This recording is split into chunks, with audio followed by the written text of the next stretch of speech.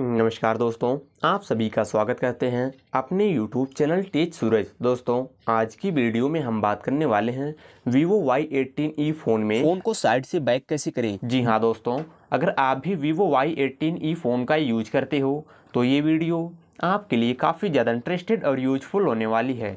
Guys video में last तक बने रहिएगा। हम आपको सेटिंग के द्वारा बताएँगे कि Vivo Y18e फ़ोन में साइड से बैक कैसे करें। तो गाइज़ उसके लिए आपको सबसे पहले करना क्या होगा? आपको सबसे पहले अपने फ़ोन की सेटिंग को ऑन करना होगा। गाइज़ आप अपने फ़ोन की सेटिंग को ऑन करना, उसके बाद कुछ इस प्रकार का इंटरफेस ओपन हो जाएगा। आप यहाँ से थोड़ा सा स्क्रॉल अप करेंगे। आपको देखिए यहाँ पर नीचे एक ऑप्शन मिल जाएगा सिस्टम का। आप सिस्टम वाले ऑप्शन पर क्लिक कर देना। उसके बाद कुछ इस प्रकार का इंटरफेस ओपन होगा। आपको फ़र्स्ट नंबर पर मिल जाएगा सिस्टम नोविगेशन का ऑप्शन आप सिस्टम नोविगेशन वाले ऑप्शन पर क्लिक करना। आपको देखिए यहाँ पर कुछ इस प्रकार से देखने को मिल जाएगा। यहाँ पे आप देख सकते हो थ्री बटन नोविगेशन और आपको यहाँ पे दूसरा ऑप्शन है गेस्टर नोविगेशन का। आप गेस्टर नोविगेशन वाले ऑप्शन पर क्लिक करना। उसके बाद आप यहाँ पे जो नीचे आपको थ्री बटन दिख रही थी, वो यहाँ पे आप देख सकते हो हाइड हो चुकी है। तो आप थ्री बटन नोविगेशन पर क्लिक करेंगे तो आपकी बटन वापस फिर से आ जाएगी। और आप जब गेस्टर नोविगेशन पर क्लिक करेंगे तो आपकी जो यहाँ पर बटन हाइड हो जाएगी।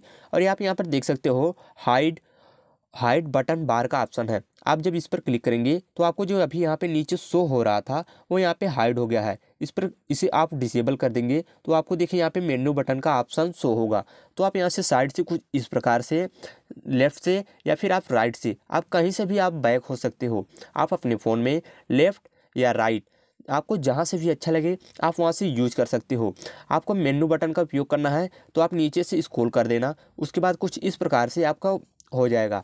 और आपको अगर होम बटन का यूज़ करना है तो यहाँ से स्लाइड करके आप यहाँ से स्क्रॉल कर दो। उसके बाद आप देख सकते हो, आपका होम बटन भी यहाँ पे आ जाएगा। तो गाइज़ आप अपने फ़ोन में कुछ इस प्रकार से यूज़ कर सकते हो। आई होप गाइज़ आपको हमारी वीडियो पसंद आई हो तो लाइक और चैनल को सब्सक्राइब ज़रूर करें। मिलते हैं फिर किसी दिन नेक्स्ट टॉपिक नेक्स्ट वीडियो तब तक के लिए बाय टेक हियर